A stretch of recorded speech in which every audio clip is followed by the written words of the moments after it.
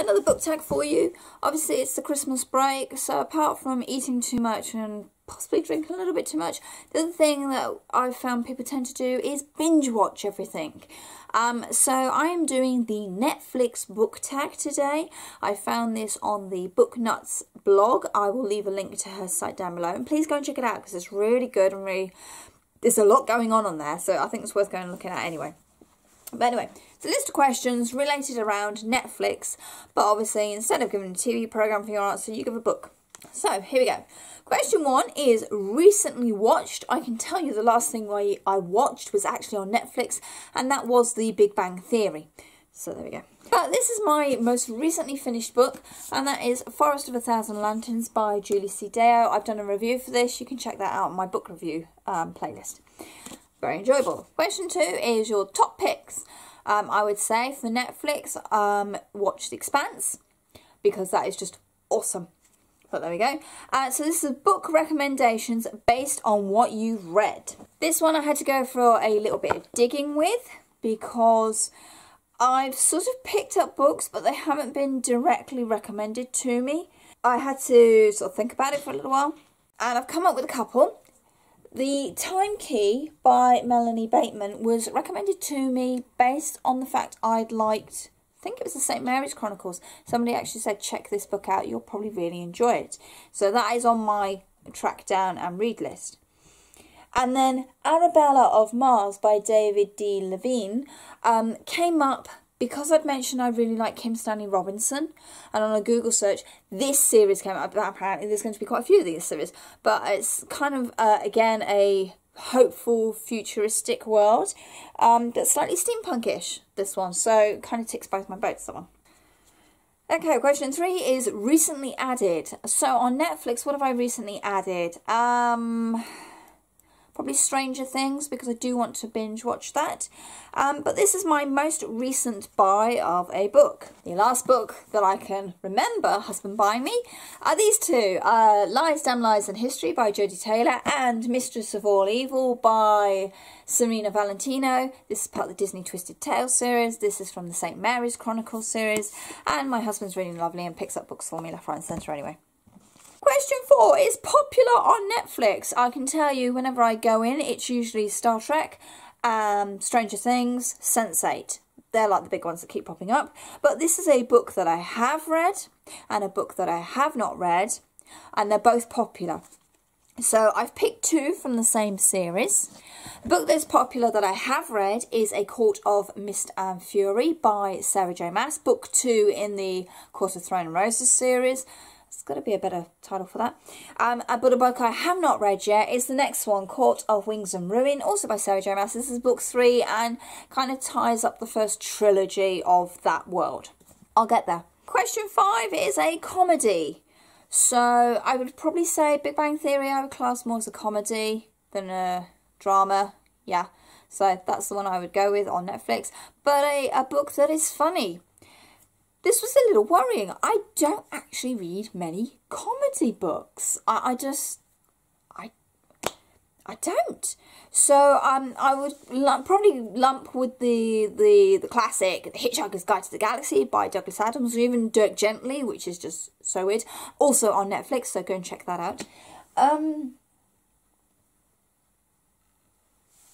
yeah, I'm going to stick with those two. Go for some Douglas Adams, because you can't go wrong with him. Question six is drama.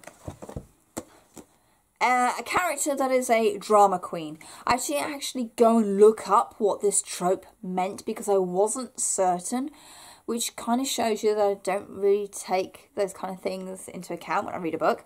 But um, one of the suggestions was Anne of Green Gables by L.M. Montgomery. Now, I love Anne. I think she's fabulous and I thought she was very much like me as a kid, which is slightly worrying now. But Anne tends to react to things very over the top, very dramatically in her life until she decides to sort of start settling down a bit and feels confident in who she is. But there we go. So I chose Anne Green Gables for that one. I think if I was going to go for a drama on Netflix, oh, I don't know. Um, no, I can't say I've actually watched much drama at the moment. You know, drama, drama. So, I have to pass that one. Let me know. What should I be watching drama-wise on Netflix, please? Question seven is cartoons. Um, my boys at the moment are watching How to Train Your Dragon and Lego Ninjago on Netflix. So they are two cartoons. And I've picked a book with a cartoon cover. This is Doctor Who, The Crooked World by Stephen Lyons. Um, I don't know if I still have this book or not. I may have given this away to a friend. I'm not sure. But anyway, as you can see, it's full of references to classic cartoon characters. And it was probably one of my favourite covers. Question 8. Watch Again. Um, a series you'd watch all over again on Netflix would be Dirk Gently, season one, because season two starts beginning of January. And that is so mind bogglingly bonkers. It's awesome. But a book series I'd like to read all over again would be St. Mary's Chronicles by Jodi Taylor. This is book one, just one damn thing after another. Just because they're so enjoyable and they're so easy to read and really quick. But a lot happens in um, and they all hang together really well. The continuity really knows what it's doing, which is great. Highly recommend this series. Question nine is documentaries. So um, I think the last documentary I actually did watch wasn't on Netflix, it was on the BBC, and that was Blue Planet 2. Awesome show. I mean, anything with David Attenborough in it is just amazing, but Blue Planet 2, pretty spectacular. So, this is a non fiction book I would recommend. I've picked starring Sherlock Holmes. This was um, done by Dave Stuart Davies, who's like a big Holmes um, guy. He knows what he's talking about. And um, this is pretty much, or was pretty much, the definitive guide to um, Sherlock Holmes on the screen. So we've got things like uh, Basil Rathbone's films are in here. It's all in chronological order as well, and it's not just the Western stuff is here. We've got the comedy stuff, They May Be Giants, Slightly Oddball, 7% Solution, Baker Street Boys, and there are features on the major actors to play Holmes. So this one's got Jeremy Brett, there's Peter Cushing in here, obviously Basil Rathbone's in here. Um, and it, it's really, a really detailed look at Holmes's portrayal throughout the years. Now, unfortunately, like I say, it's not up to date anymore. Um, this was published quite a while ago now. So the last stuff we have in here is the Hound of the Baskervilles and The Sign of Four. Um, these are starring Matt Frewer, if I'm right. Yes, Matt Frewer. And they were done for the BBC. There we go, back in 2000 and 2001. So it's, you know, a decade now out of date. Obviously doesn't cover Benedict Cumberbatch at all and Sherlock and Elementary and anything like that, which is a real shame. I'd love to see this done up to date. Yes, there are two covers. There's this one with Jeremy and this one with Basil. This is my favourite though. So there are. So if you're a big Holmes fan and you've not come across this one, um, I would say check it out because it's it's beautifully done. Question 10 is action and adventure. Can I put the expanse in that one again? Star Trek even? Um, but book-wise, uh, for this I've picked Skulduggery Pleasant Book 3, Faceless Ones. These are written by Derek Landy. Um, this one, you kind of need to know what's gone on in the previous book, but you can read it by itself. It's okay. But it's not that it's like an action story like, say, um, James Rollins writes or Matthew Reilly. But there's a lot at stake in this one. The the cost of things keeps getting higher and higher and there are greater dire consequences going on. So I really did enjoy this one. And question 11 is new releases. So obviously for Netflix, season 2 Dirk Gently is coming out. Um, and I can't wait for that. So that's the Netflixy one. But new release or soon to be released book that I'm looking forward to. Now, I've already got a lovely long TBR list of books coming out next year that I want to read, but I've picked the earliest one, which is Gunslinger Girl.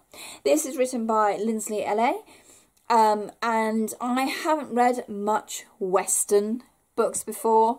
Um, it's something my granddad used to read an awful lot of, so it'd be nice to encounter a Western style book with uh, a person of colour as the lead, which is something I'm trying to uh, read more of. Um, read outside, like my comfort zone, I suppose.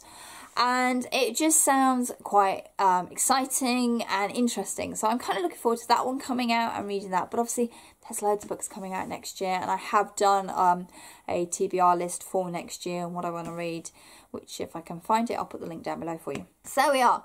That is my Netflix book tag. If you want to do it, please let me know you're doing it down below so I can go and visit your blog or your YouTube channel and watch it. That would be great. Uh, as always, my social media links are in Goodreads, Instagram and Twitter in the description box down below. So please come over and say hi. That'd be great to see you. I would like to say thank you very much to all my new subscribers out there. It's lovely to see so many people wanting to hear what I'm talking about. Thank you so much. I promise it won't go to my head. And as always, thank you very much for watching and happy reading. Bye.